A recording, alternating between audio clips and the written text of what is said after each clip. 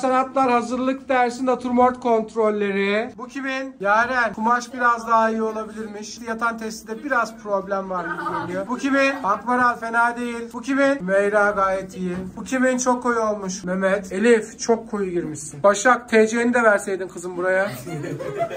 Işıl dış fena değil ama bitmemiş. Bitirsen daha iyi olabilir. Özellikle silindiri biraz gelişi güzel yapmış gibi duruyorsun. Bu kimin? Ezgi. Şişenin boynu çok uzun olmuş kızım.